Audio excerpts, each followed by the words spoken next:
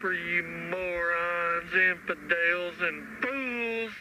You know, here's where I live today, number 11.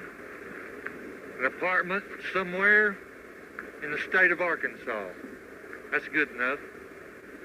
I came from a real nice big home with all the amenities and luxuries that you could have to what I like to call my humble, modest studio apartment. A giant 300 square feet. A bedroom, a living room, a kitchen, and a bathroom. But there's benefits to it. it Takes me five minutes to vacuum, five minutes for the air conditioner to cool the place down, and I don't have to walk far to go to the bathroom.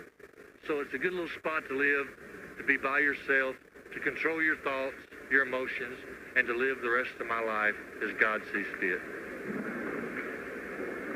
As I look at all these dark clouds roaming in on me today, it can very easily remind me of May 5th, 1993. This half was a bright, sunshiny day. This half became gloom and doom.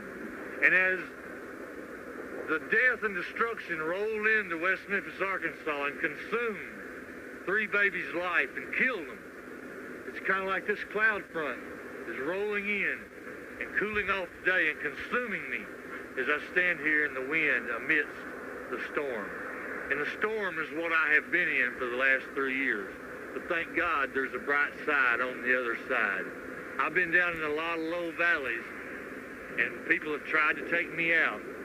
But I'm still here. Jesse, Jason, Damien, those names ring in my ears daily. And I still hate you.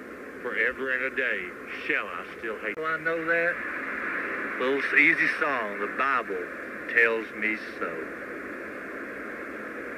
And there's so much in here that's in store for you. If you don't have one, rush out to your nearest bookstore and get one, you lowlife. Have the Gideons mail you one. Read it, live it, believe it. It is your destiny. Hell awaits you. Catch me outside, how about that?